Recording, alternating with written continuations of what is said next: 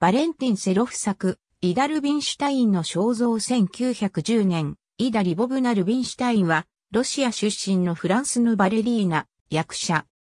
あまりに万学だったため、バレリーナとしては、一流とみなされておらず、強いロシア語鉛のために役者としても中途半端であったが、舞台上での存在感や演技力は際立っており、エキゾチックで両性具有的な容姿に多くの人々が魅了された。ベルエポックの美意識を象徴する美女として、また、当時の芸術家たちのパトロンとして知られており、ラベル作曲のボレロなど、いくつかの作品が彼女の移植によって生み出された。イが演じる、聖セバスティアンの殉教のために、バクストがデザインした衣装裕福なユダヤ人の家庭に生まれ、早い時期に孤児となる。20歳を過ぎてからミハイル・フォーキンに師事するまでロシアバレエの伝統から言えばイダは正式な訓練をほとんど受けなかった。1908年、ペテルブルクにおいて、オスカー・ワイルドのサロメをパントマイム形式で独演してデビュー。七つのベールの踊りでは一糸まとわぬ姿となり、物議を醸した。サロメにおいて、振り付けを担当したフォーキン及び美術を担当したレオン・バクストの推薦により、パリにおけるバレエ・リュスの公演に参加。同団の旗揚げとみなされる1909年のシャトレザ公演でのバレエ、クレオパトラにて、主役クレオパトラ、翌1910年、パリオペラ座公演でのバレエ、シェヘラザードにて、スルタンの長妃、ゾベーダを演じた。いずれも振り付けは、ホーキン、美術と衣装は、バックストが担当した。これら2作品における、イダの役どころは、踊りがほとんどないパントマイムに近いものであったが、観客に強烈な印象を与え、ジャン・コクトーやマルセル・プルーストをはじめ、多くの人々が彼女の美を称えた。1911年にバレーリスを離れ、自主公演を行うようになった。同年、シャトレザにおいて上演した聖セバスティアンの殉教は、イタリアの詩人、ダン・ルンツェオが彼女のために書き下ろした作品であり、音楽はクロード・ドビュッシー、美術はバクストが担当した。この作品は、洗練されたモダニズムによって称賛されると同時に、スキャンダルともなった。ユダヤ人女性が聖セバスチャンを演じたことが、パリの大司教の激鱗に触れたからである。大司教は、すべてのカトリック信徒に向けて、この作品を見に行ってはならないとお触れを出した。その後、振り付けのブロニスラバ、ニジンスカ、舞台美術のアレクサンドル・ブノアら、多くのバレエルスの関係者を引き抜いて、独自のバレエカンパニーを結成し、1928年11月にパリオペラ座で旗揚げ公演を行った。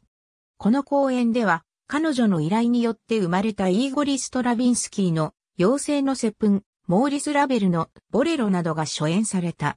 イダは豊富な資金力に物を言わせて、オペラ座を満席にして、バレエリュスに脅威を与えた。彼女のカンパニーはしばしば無料のバレエ上演会を開催し、第二次世界大戦が勃発する1939年まで断続的に活動を続けたが、その後彼女は舞台から遠ざかり、1960年にバンスにおいてひっそりと亡くなった。イダは芸術家のパトロンとしても重きをなし、彼女のダンサーとしての技術的弱さに応じた踊りと演劇と劇作法がない混ぜになった作品を芸術家たちに発注した。こうして生まれた舞台作品には、ジャック・イベール作曲によるバレエ、ポアチエのディアナ、アルテュール・オネゲル作曲によるバレエ、アンフィオン、ポール・クローデルの台本とオネゲルの音楽による劇的オラトリオ、火刑台上のジャンヌ・ダルクなどがある。イダは美術の世界でも称賛された。バレエ・リュスでのクレオパトラのフィナーレに霊感を得たキース・ヴァン・ドンゲンは1909年シーズンのロシアオペラの思い出を描いた。バレンティン・セローフ描くところのイダの肖像は円熟の境地を存分に示している。彼女はアールデコの彫刻家のデメートル・シパリュスによる勝立像やアントニオ・デラ・ガンダラによる肖像画のモデルとなった。両性愛者だったイダは1911年から3年間にわたってガカロメイン・ブルックスと恋愛関係を持った。ブルックスもまた、イダをモデルにして印象的な肖像画を描いた。ヴィーナスほか、イダをモデルに数点の絵画を残している。マリ・フランソワーズ・クリスト、佐藤敏子役、バレエの歴史白水者、1970年、109ページ、聖職者の首を切るという内容であったことから、ロシア正教会が上演に反対したが、結果的にはセリフなしという条件で上演が許可された。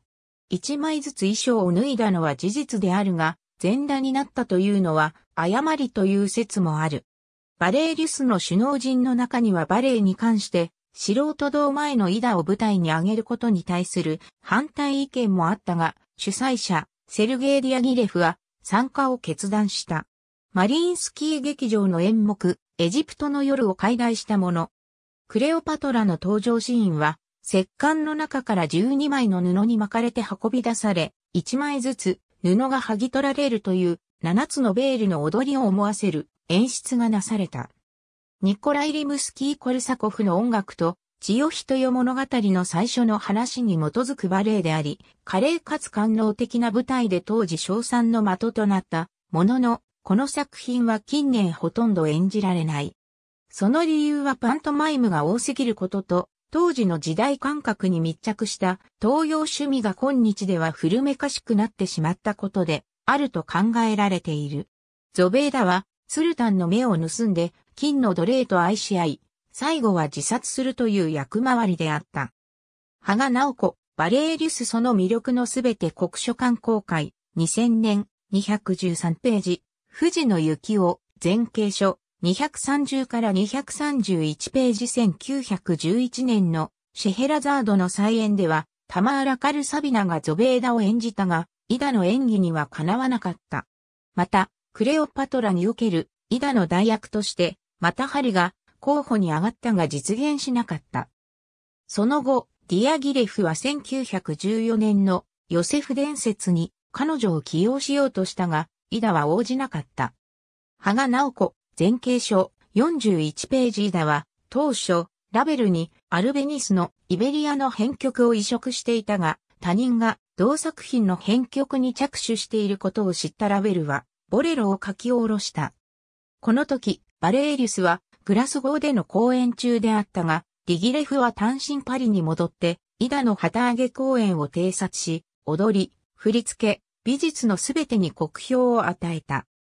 富士の雪を前景書238ページ、マリ・フランソワーズ・クリスト前景書109ページ、マリ・フランソワーズ・クリスト前景書110ページ、この他に音楽家ではアンリ・ソーゲやジョルジュ・オーリツク、振付屋では、レオニード・マシーンやセルジュ・リファールらが協力した。ありがとうございます。